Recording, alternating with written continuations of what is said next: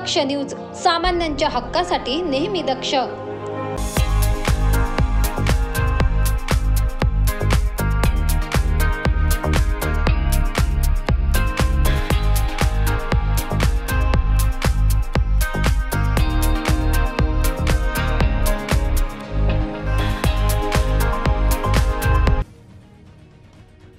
सिडको पाथर्डी फाटा परिसरातील स्वराज्यनगर या भागात एका विहिरीत तीस वर्षीय तरुणाचा मृतदेह पाण्यात तरंगताना आढळून आल्याने एकच खळबळ उडाली.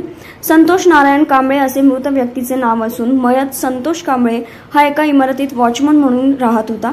त्याचबरोबर तो रविवारपासून बेपत्ता होता. याबाबत इंदिरानगर पोलीस ठाण्यात तक्रार दाखल करण्यात आली होती.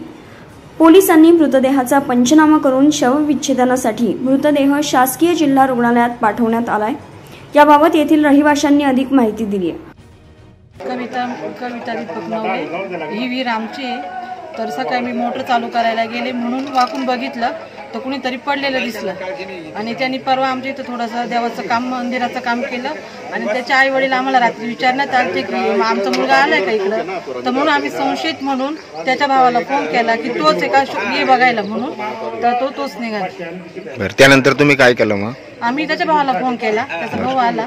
त्याला विचारलं. मग तिथून पुढं पोलीस वगैरे आले. त्यांनी त्यांचं काम चालू केलं.